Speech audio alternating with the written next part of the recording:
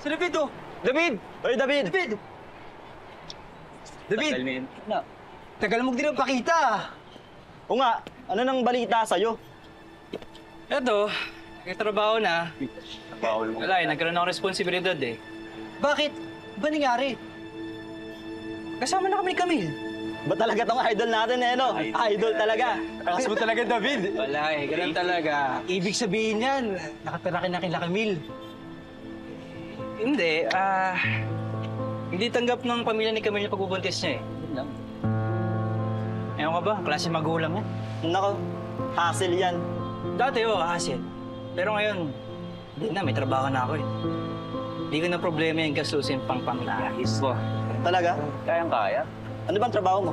Baka naman, ah, illegal yan, ha? Sira ulo! Huwag mo nang alamin. Basta ang importante kumikita tayo. Ano ba? Ano? Kumikita. Ba? Tama, tama yan. Tama. Ah, tara na. Tara, tara, tara. Tara, tara.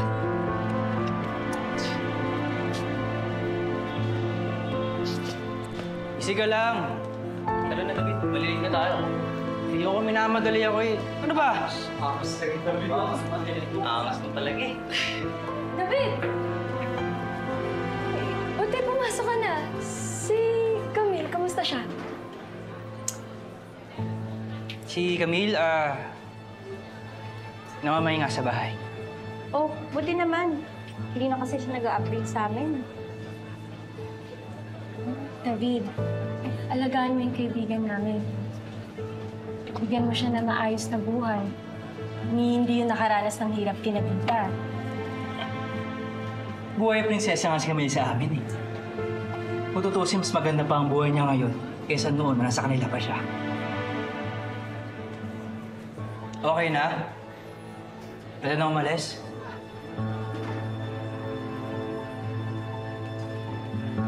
Ang klase ka, David. Napaka-last mo, David. Ang klase ka talaga. Okay, everybody. Finish or not finish? Pass the paper.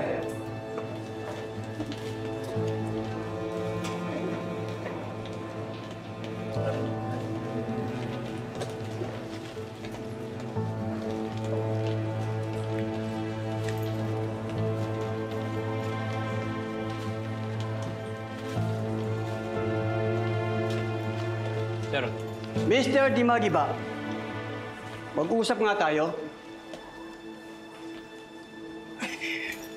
bakit sir? Besides sa mga missing requirements mo, hindi rin nakakatuwa ang number of absences mo. Nakausap ko ang iba mong mga professor. Gayun din ang sinasabi nila sa akin.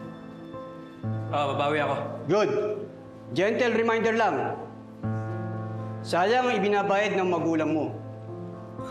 Kung matidelay ka lang, o makikikout ka.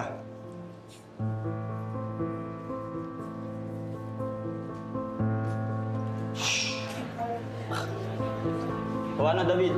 Anong sabi ni Sir? Napakayabang ng prof na yun, eh, no? Alam mo kung sino?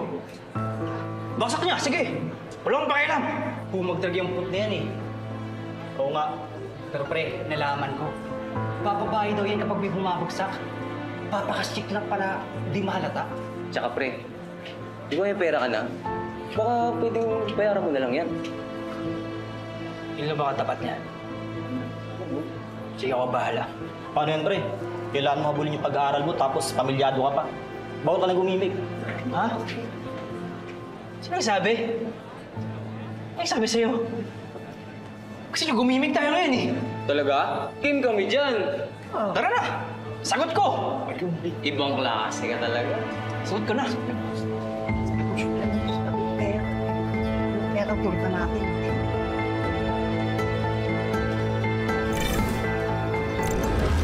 Pakitigan ni po araw dito ang yahatol ni Judge Victorino Santos. Kina Jesus Nazareno di Bagibanga. Kasama rito si Renato Di Bapilis, Alben Garcia, Gabriel Emmanuel Santiago, Rodolfo Sorin at Ruel Bulawan. Ito po makikinigan ang paglabag sa RA 9165 o yung Comprehensive Drugs Act at RA 10591 o illegal possession of firearms. Matatanda po na nagkaroon po ang grupong ito na kuhan po sila ng malaking halaga ng cocaine. Maramos na makipagbarila ng grupo sa mga kapulisan. Ito ang patuloy sa ginawa niya pangako ni NBI NCR Chief General Augusto Pacheco. Yung ikaw sa pagsusunod. Dapat lang talaga makulong niya si Tanggol. At, lang ako sa kanya, Marsing. Kasi ginawa lang naman niya yun para matulungan si Mokang para maoperahan ka eh. Puro gulo, problema ang dala niya kay Mokang. Ayun na nga. Pero nakaraan na yun, huwag na natin pag-usapan. Kakasal na si Mokang.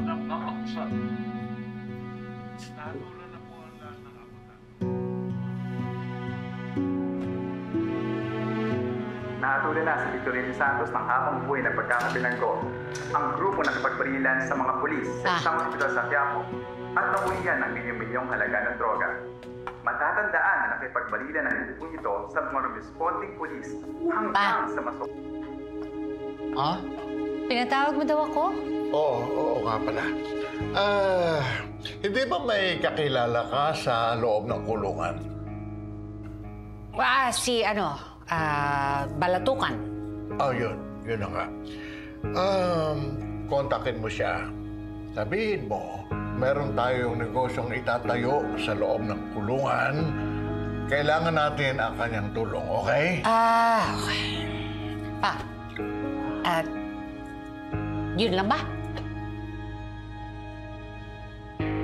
Ah, ah, oo, oo, yun lang. Pa, baka gusto mong kumain muna.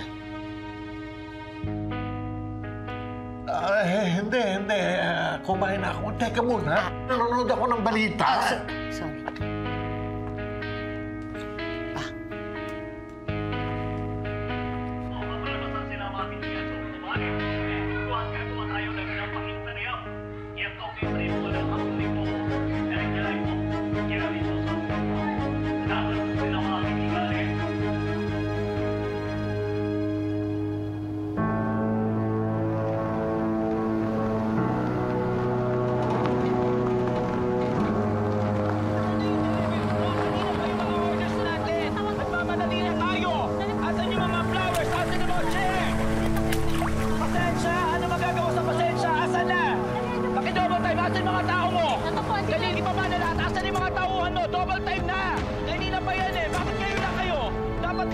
Kayo!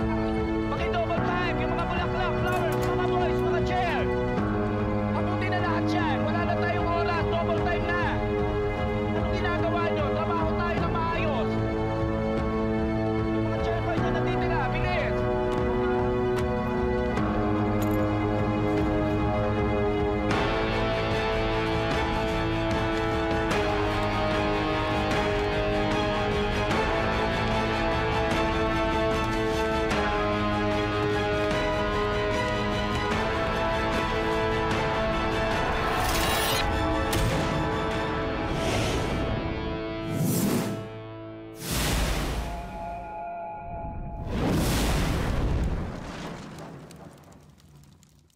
Kapag na-miss mo, pwedeng balikan.